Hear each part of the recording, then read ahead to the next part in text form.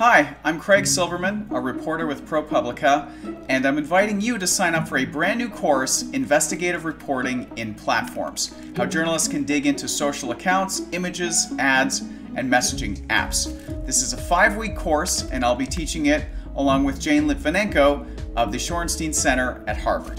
And I'm Jane Lytvynenko. I'm a senior researcher at the Shorenstein Center at Harvard. And in this course, you're going to learn how to investigate key digital assets, including social media profiles, digital ads, messaging apps, and images and video. You're also going to learn how to create an efficient workflow to gather and organize the assets that you collect. This course is open to anyone interested in advancing their digital investigative skills.